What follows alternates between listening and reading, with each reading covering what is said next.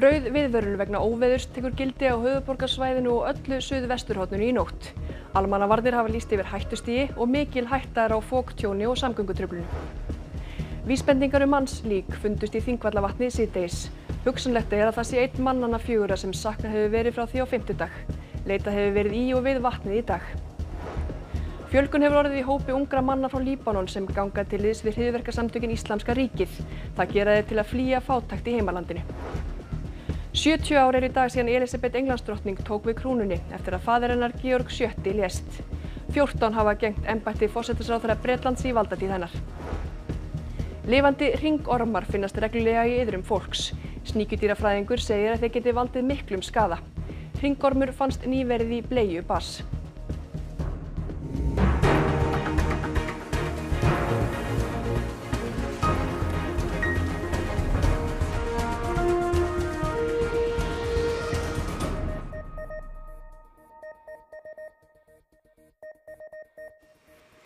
Komiði sæl. Hættustígi almannavarna hefur verið lýst yfir vegna aftaka veðurs sem spáðir um allt land í nótt og fram á morgun. Líklega verður nánast öllum vegum um land allt lokað um tíma. Allt flug hefur verið fellt niður og hættar á ramaströflunum. Veðurstofan gaf í hádegin út rauðar veður viðvaranir vegna óveður sem spáðir á Suðurlandi við Faxaflóa og á höfuborgarsvæðinu. Miklar líkur er á fóktjóni og ófærð innan hverfa. Einhverjir skólar hafa ákveð að hafa lokað á morgun og fólk er hvatt til að halda sig innan dyram. Nánast öllum vegum um landið verður líklega lokað um tíma í nótt, bæði á höfuborgarsvæðinu og á landsbyðinni. Þá hefur öllum akstri stræt og verið aflýst, allt flug fælt niður og Herjólfur siglir ekki á milli vestmanna eigi á Þorlókshafnar á morgun eða á þriðudag. Þá er mikil snjóflóða hægt á norðanverðum vestfyrum og tröllaskaga. Björgunarsveitir um allt land er í viðbrástöðu. Ég er bara, ég er um að nota öll tæki bara síðustu daga og, og verðum öll tæki klár í kvöld.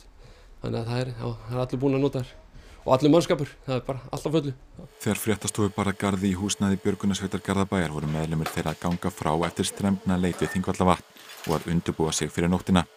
Já, við bara búum okkur undir að vesta og þetta eru bara skilabóðin nr. 1 og 3 bara til almennings að gera það líka og það munar rosalega mikið fyrir okkur ef almenningur er búin að laga til vel og tryggja allt sitt ótt. Mikil ölduhæð fylgir læðina annað kvöld og getur öldur náð átján metrum. Þá er hægt á tröflunum á rammagni vegna óveðusins. Landsnet hefur fundast stíft um helgina.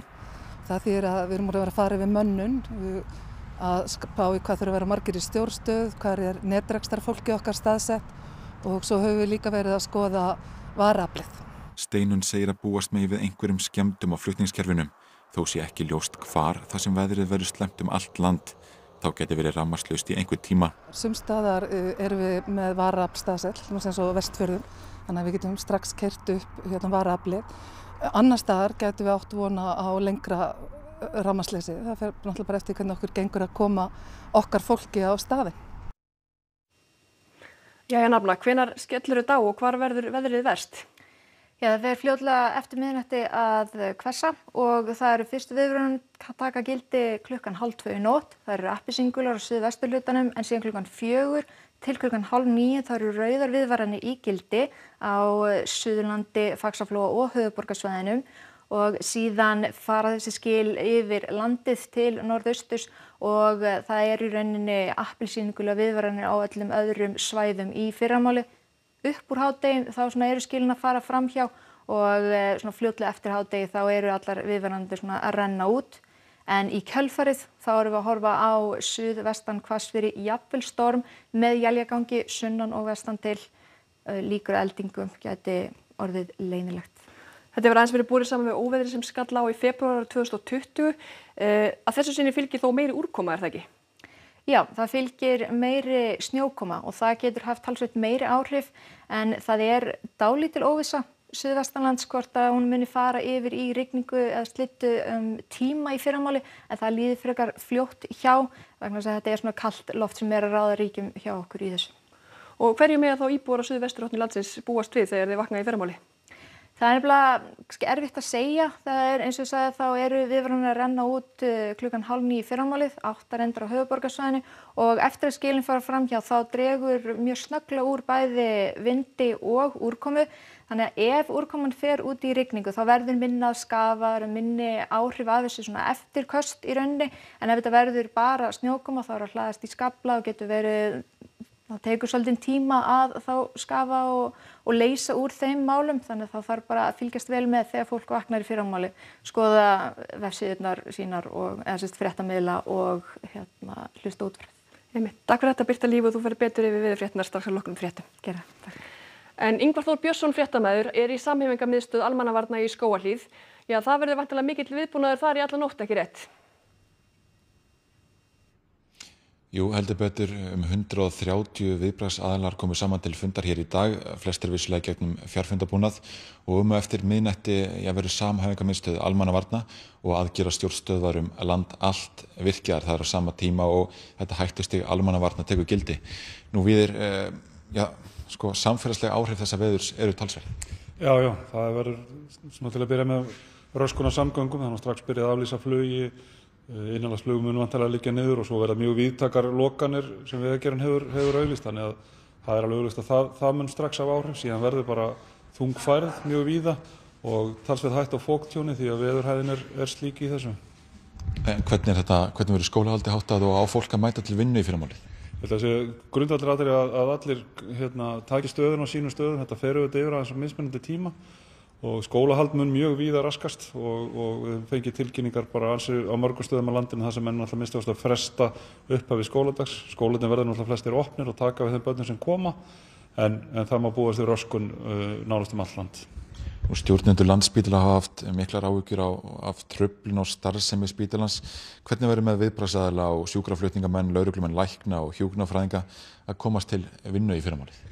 Já, það er svona hver stofnum þar svolítið að, að huga því fyrir sig. Við verðum ansi með mikið að mannskapi í vinnu í tengslum við bara að halda svona þessu eðarþjónustu gangandi.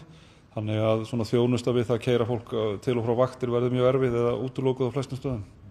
Þannig að búist þið talsverði öldu hæð þegar líður á dagina morgun. Um, já, hvað skilabóð hafið þið komið til, til skipa og báta? Landiríkjæslan er búin að gefa út viðvörun sérstaklega út af þessu. Sérstaklega svona suðvesturhóttnið og inn í fagsaflóðan líka þá er hægt á því að það verði, getur verið ansið mikið sem gengur á þannig að eigandur uh, skipa og báta hafa verið kvartir til þess að huga þeim og fylgjast vel með því. Þetta mun koma svona aðeins eftir að, að þessi kvellur verður í nóttu og fyrramálið þannig að, að vonandi bara so, sopna mann ekki á verðinum yfir því að, að þó að vestaveðrið sé búið þá kemur þetta á eftir og síðan fylgja ansið dimm jél sem verða, verða hérna, allan daginn á morgun og, og snjókoma annarkvöld þannig að þetta er eina svona næstu tveir daga sem verða ansið þungir held ég. Svona rétt í lokin, hvað á almenningur að hafa í huga næsta klukkutíma? Bara fara í kringu sitt nærumhverfi, sjá hvort það sé nokkur í lausamönnu sem geta fókið og síðan í fyrramálið að taka stöðun á þann menn fara út ekki æðastað í vinnuna að það er búin að vera vissum það að það sé færst þaðan sem þú ert og í, á þinn vinnustaf. Takk fyrir þetta. Við erum skulum segja gott frá samhæga miðstöð Alman, almannavarna hér í Skóvalíð. Takk fyrir það Yngvar Þór Björnsson. Kafarar eru nú við köfun í Þingvallavatni til að kanna vísbendingar frá sónarkábáti. Á 37 metra dýpi myndaði kábáturinn það sem gæti verið líka manni. Kafað verið fram á kvölda meðan vísbendinginu könnuð. Um 200 manns hafi verið við leita mönnunum fjórum sem saknaði er eftir að flugvelið þeirra fóri í vatnið á 50 dag. Leit hófst í byrtingað mönnunum fjórum. Síðdeis í gær komi ljósa engin var í flagi flugvilarinnar sem liggur á botni Þingvallavats á 48 metra dýpi í rúmlega 800 metra fjalla frá landi þar sem stist er. Láregla telur ljósta að fólkið hafi komist úr vélina af sjálfstáðum eftir að hún lendi í vatninu. Kallt hefur verið í dag við vatnið, þryggjastega frost og vindurinn 9 metrar á sekundu. Hvernig eru nú aðstæðu til leitar í dag? Það er kallt, fyrst og fremst. Er kallt lofthitinn og svo ef maður aðstóð út í vatninu þá er svona vatnið auðvitað mjög kallt og mikill vindur líka þannig að vindkælingin bætir í það frekar erfitt bara. Þetta eru frekar erfiðar aðstæður? Já, má segja það. Það er kuldinn bara. Til að byrja með einskoraðist leitin við Ölfusvatsvík síðst í Þingvallavatni en undir háti var leitin vikkuð út og náði um allan suðurhluta Þingvallavats. Það er fjöldin allur af björgunarsveita fólki sem er komin hingað að Þingvallavatni til að leita og það er leitað með því að ganga með frá vatnunu, fara á bát út á vatnið og þyrlur og hvað eina. Leitarhundar hafa tekið þátti í leitinni í dag. Við höfum verið að taka það aðeins hérna og ganga með fram bökkunum og sjá hvort þeir pikki upp einhverja lykt og við vorum með þá í bátum líka í gær og verður örgulega eitthvað áframhaldandi verkefni í dag líka. Hvað heitir þessi? Þessi heitir Kjarkur, hann er nýja ára. Vindurinn og krapin á vatninu torveldaði hins vegar leit hundana á vatninu. Um 200 manns leituð á 65.000 fermetra svæði í dag frá björgunarsveitum og landhelgiskeslu.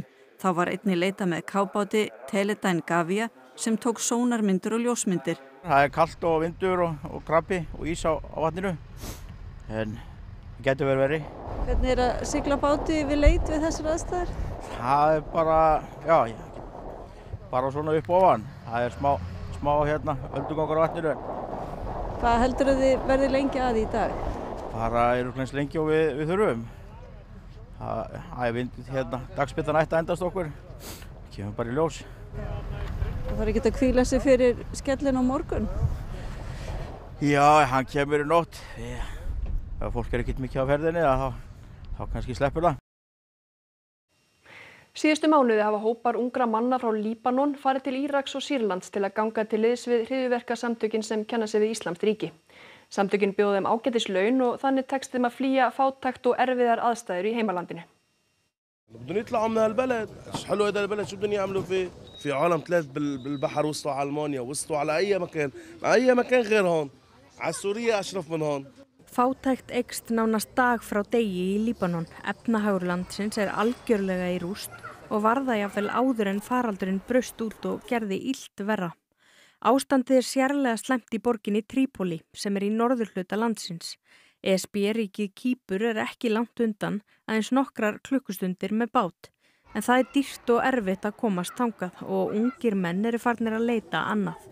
عندك أكثر من 100 شاب مختفيين هي تقريبا من حوالي أقل من ثلاثة شهور بعض الأهالي فاقوا الصبح ما لقوا أولادهم عندهم تم الإعلان وقتها عن اختفاء أكثر من 30 شاب Hriðjuverkasamtökin sem kenna sig við Íslamst ríki verðast farin að sæki í sig veðrið á ný. Þau bjóða nú um þúsund efrur í launa á mánuði. Síðustu mánuði hafa hópar af ungum mönnum haldið af stað til Sýrlands og Íraks í laumi til þess að ganga til liðs við samtökin. من آه، 15 يوم نهار خميس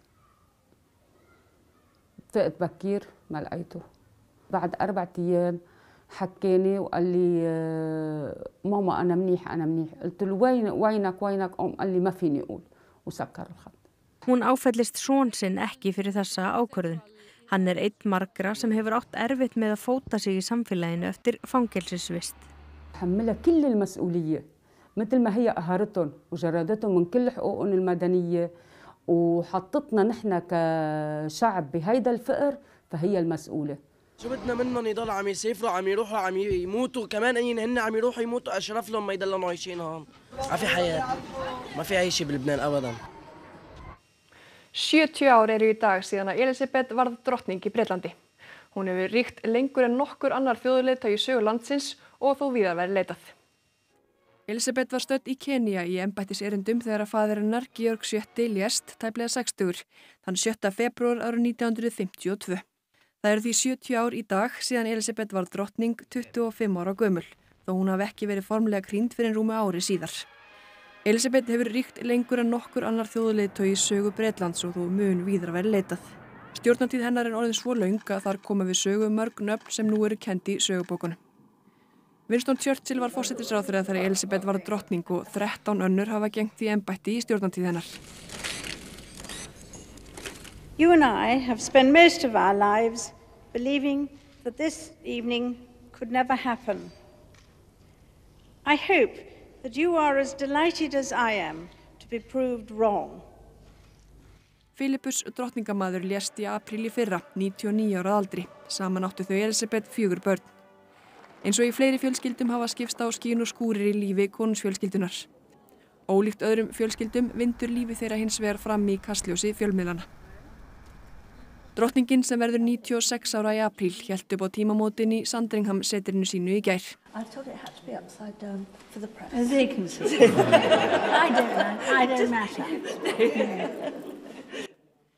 En Elisabeth gerði fleira en að skera köku og þykja blóm í tilefni tímamótana.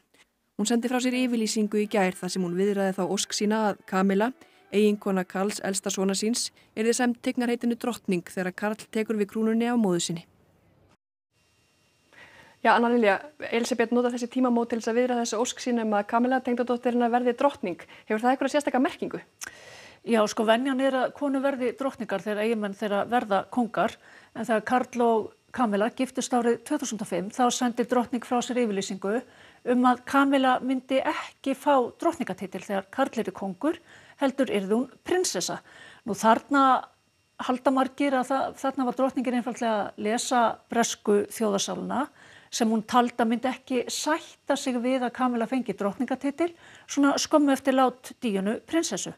En núna eru liðmörg ár síðan þá Kamila er vel liðin almennt meðalbreyta og auðvitað þarf Karl ekkert leifi frá mömmu sinni til þess að eiginkona svaða drottningatitil. Hann getur sem best veittinni þennan titil eftir að hann er orðin konungur. En þetta er jú, þetta er kannski fyrst og fremst tákrænt. Já, en er þetta að lesa eitthvað í því að Elisabeth sé með þessu svona aðeins að undibúa starfslokk sín? Já, sko það skildi engan undra 90, eða tæplega 96 ára gamlu kona síðan fann að huga því að sittjast í Helganstein. En það hafi mitt verið vangaveltur um þetta í bresku pressunni í dag. Að að með þessu sé hún svona greiða leiðina fyrir þetta, já, roskna par í áttað hásætinu. Og en ég held að vera ekkert auðvelt fyrir Karl að taka við af mömmu sinni, hann á, jú, Breitland smet í að sitja á varamarabeknum að býða eftir hásætinu. Einmitt. Þetta er alveg ógulega langu tími. Ég meina Jósef Stalin var hæstræðandi í Sovjetríkjónu þegar Elisabeth tekur við og Áskir Áskirsson varð sama ár fórseti Íslands. Ja, hvaða sess skipar drottningin í lífi breyta eftir allan þennan tíma? Sko stór hluti núlifandi breyta og ég bara meiru hluti já, heimsbyggðarinnar allar man ekkert eftir öðrum þjóðarleitóga í Breitlandi. Nú hún er lang, langvinsalasti meðlumur konstfjörskildunar og það er margir sem velta mitt vengu yfir því. Já, mun almenningur sætta sig við einhvern annan og verður kannski krafan um að leggja hreinlega af konungsveldið sterkari þegar hún fellur frá en já, það er allt eftir að koma ljós. Já, takk fyrir þetta Anna Lilja. Og við ætlum að snú okkur allt, allt öðru. Á hverju ári finnast lifandi ringormar í fólki og eitt slíkur fannst í bleiu bass nýlega. Sníkjudýrafræðingur segir að þeir geti valdið miklum skada.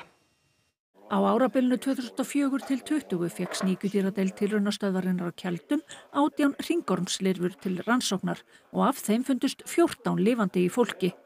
Þeir láti ekki mikið yfir sér ringormarnir en það hafa þær sapnast til feðra sinna en þegar lifandi ringormur er innbyrtur þá getur hann valdið heilmiklum usla. Það eru ringormar sem að eru að koma úr millihýsli sem eru fiskar, þoskfiskar, til dæmis eða síld eða uppsjáfiskar og við getum hráa eða lifandi. Og þessi ringorma geta lifað um ákveðna hríð í mannskeppnum en átta sig á því fyrir en síðar að við erum hvorki selir eða kvalir sem eru eðlilegi loka híslar þessar tegunda. Þannig að þeir sleppa á takkinu þeir eru í meldingavegi og ganga annarkvátt upp eða niður og það er mismunandi eftir tegundum hversu miklu skada ormurinn getur valdið. Önnur þeirra getur borað sig út úr maganum. Það er yfir kveðarhól og valda þar ímsum óskunda fyrir eftir því í hvaða líffærið þeir eru að ferðast af því að þeir hafa sér eins og litla stoppunálar, vaða inn og valda bleitnum blæðingum. Rúmur helmingu hringorslirfana sem tilrunastöðinni og keldum barst að þessu árabili fannst þegar lirfurnar skrið upp vélinda og upp í munn og einn fannst spriklandi í ælu barns, önnur fannst við salernisferð og þrjár fundust lifandi í mat og þá fann móðir óskemtilegan gest þegar hún skipti á barni sínu. Það var móður sem fann spriklandi ormi bleiu badsins síns. Koma svona tilvika á hverju ári? Já, það nálgast það. það sko, við sjáum ábyggileikinum á topp, toppin af ísjakanum. Áformað er að leggja hitaveitu til Eyða á Héræði. Mikill kostnaður við ramaskynningu hefur staðið vegi fyrir að byggja upp starfsemi hús, í húsnæði gamla alþýðuskólans.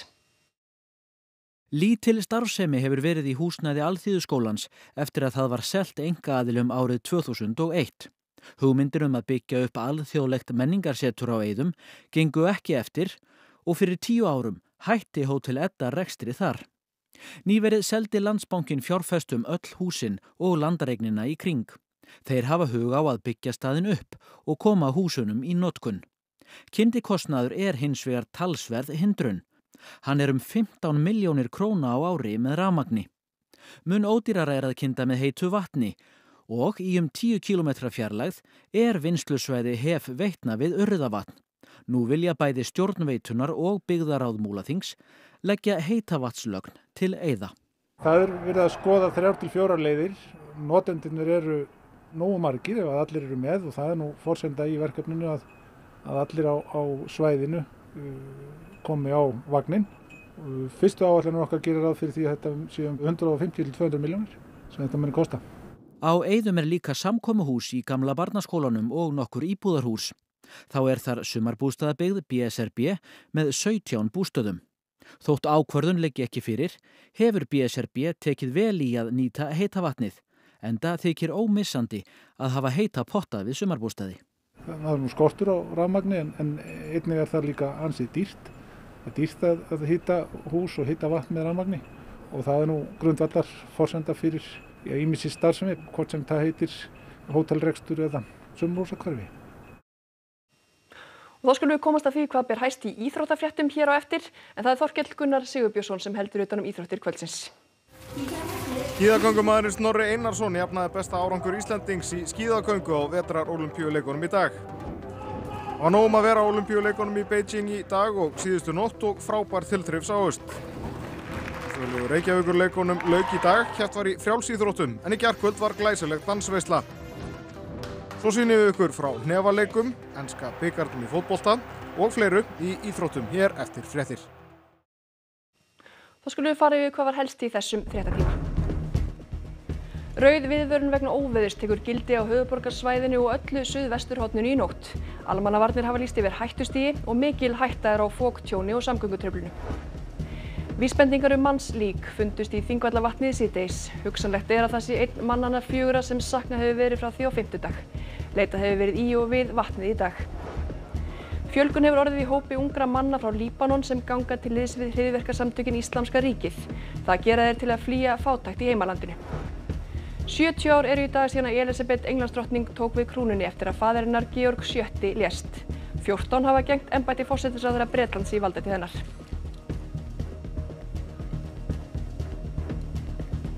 Og þar með líkur þessum fréttatíma. Við bendum á að vegna yfirvofandi óveðurs verður aukin fréttavakt í alla nótt á Rás 2 og rúf.is. Þar verður hægt að fylgjast með nýjustu fréttum af veðri og færð. Þar byrtast einnig tilkynningar um röskun og skólastarfi og annari þjónustu í fyrramálið. En takk fyrir samfélgina um helgina, verðið sæl.